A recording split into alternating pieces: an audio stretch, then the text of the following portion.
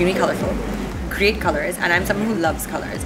So for me, this is like a super treat. We're going into like Stevie blues, and we're going into like these like bright neon, uh, almost green yellows, you know. So it's it's very unconventional, but at the same time, there's a great pop. It's vibrant.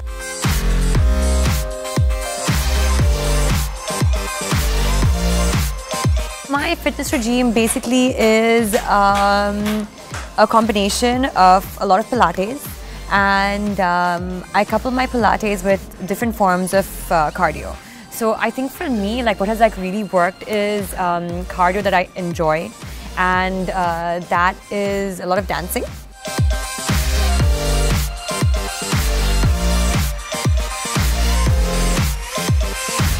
First of all, very, very good looking, extremely good looking shoes.